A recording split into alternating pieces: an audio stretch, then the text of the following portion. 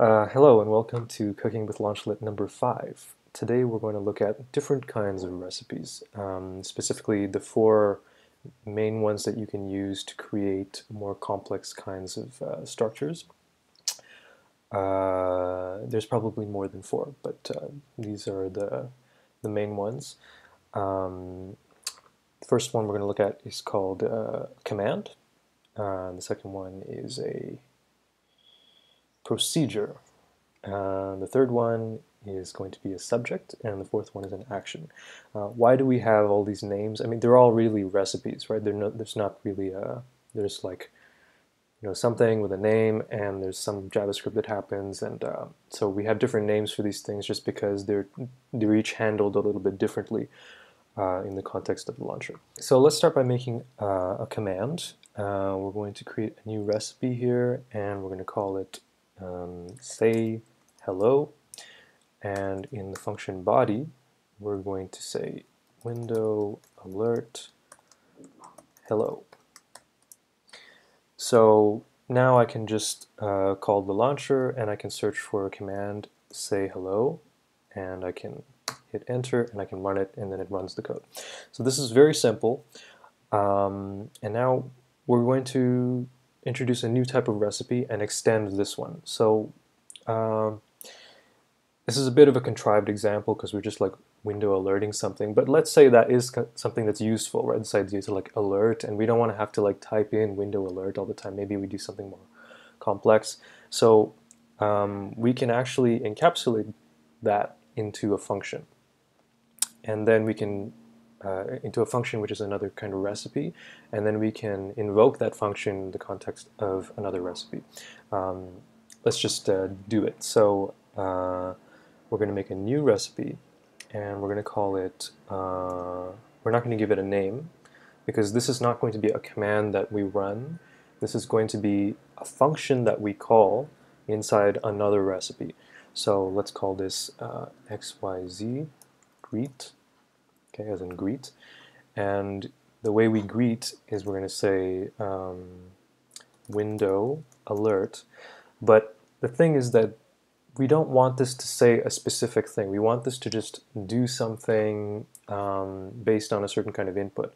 So we're actually going to uh, put an argument to this recipe, and we're just going to call it input data. You can call it whatever you want and we're going to window alert whatever the input data is.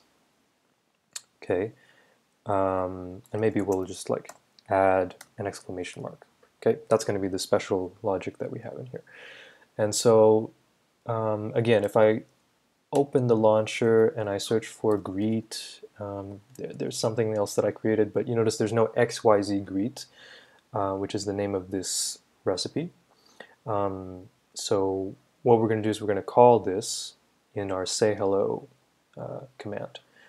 Um, so instead of saying window alert hello, we're going to go uh, this.api, which again is our gateway into calling other kinds of recipes. And uh, there's different ways to do this. Um, for example, if I called that procedure greet me with a space in between, you would have to use this notation here, uh, which is just the object notation for JavaScript, greet me. Um, and we're going to pass it um, hello here. And um, now we run, we say hello, and it goes hello exclamation mark because it's using that other recipe to um, do some logic on the input. Um, I don't usually like to have spaces in these uh, signatures because um, it's just more complex to uh, it's more complex to refer to them. So um, I prefer to do this. This .api dot xyz greet or even just greet, whatever. I like to have prefixes, but it's the same thing. So there's different ways to access other recipes based on whether they have spaces.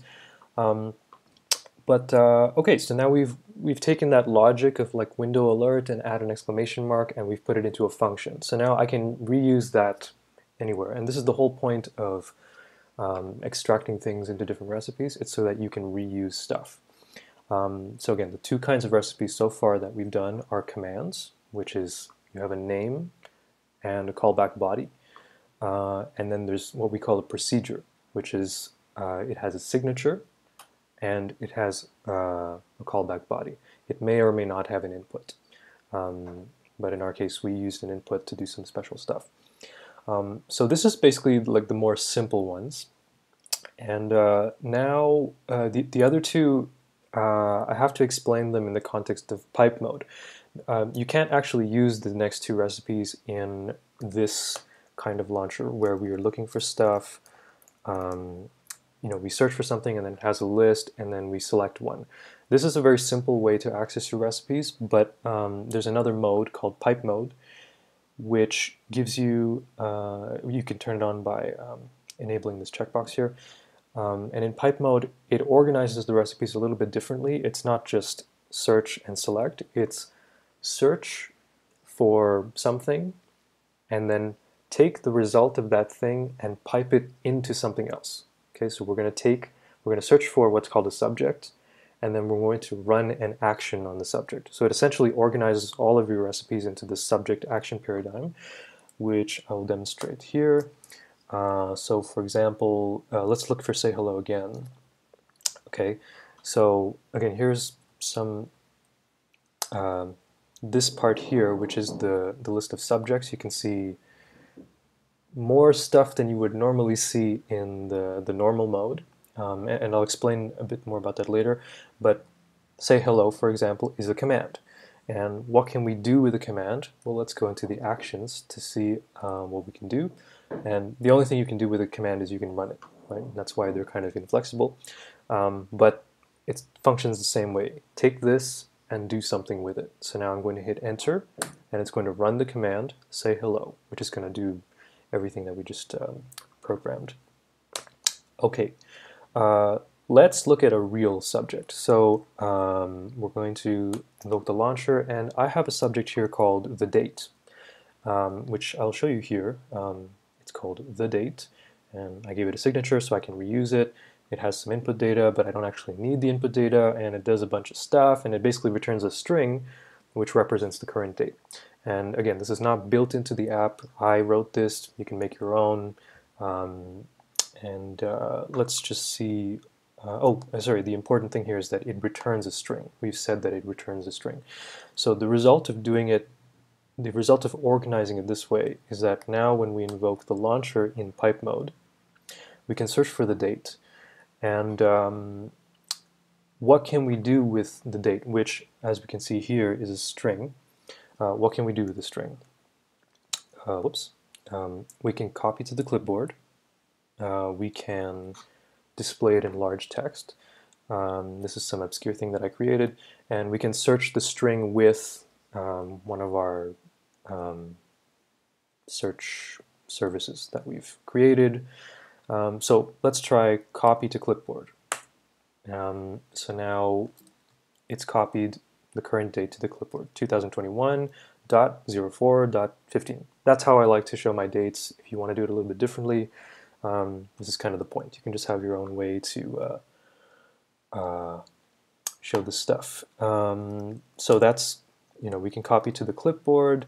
We can have large text, which is an, a recipe that's built into Launchlet, or it's an action that's built into Launchlet in pipe mode. So if I say large text, it creates this little thing that has um, the string in large text. Again, this works with any kind of string, so I'm going to just insert you know, some random text here, hello there, and what can we do with the string? Again, we can copy it to the clipboard, we can put it in large text, um, we can also search it with one of our different uh, search URL template search services things. Um, so let's search it on Wikipedia, for example. So now I take the string, I search it with Wikipedia. Um, so this gives us a lot of extensibility in how uh, we're not just limited to like pushing things and running things, right? We can compose um, this sort of almost like a sentence, right? Do this with this. Um, so let's create uh, a subject um, we're, we're going to create a really basic one. Uh, let's create a new recipe and we're going to give it a name because it's got to be accessible in the launcher. And we're going to call this um, salutation. And we're going to return uh, yo, which is a string. Um, now, just because we're returning something doesn't mean that the system knows what we're doing, right? Um, the, again, the system is not inspecting our stuff and trying to do some kind of intelligent thing. So we have to say, we have to declare what we're returning so that the system can organize it into this subject action paradigm, which means that we have to enter in an output type. Okay, and we're going to say output type string. And now this is a subject. Again, it has a name, um, it returns something, and then it declares the type of the return value. Um, I haven't listed all the different types you can uh, declare. Um, I will document that later. And you can also create your custom types, which is another type of recipe, actually. I forgot to mention that. Maybe I'll do that at the end. Um, you can create a custom type. Um, I'm a bit scattered today. Okay, so yeah, so let's look at the uh, salutation subject. So we're going to invoke the launcher. We're going to look for salut uh, salutation. And we can see here the type is a string, as we said. And again, what can we do with the string? We can copy to the clipboard, we can put it as large text, or we can search it with. So let's go with large text.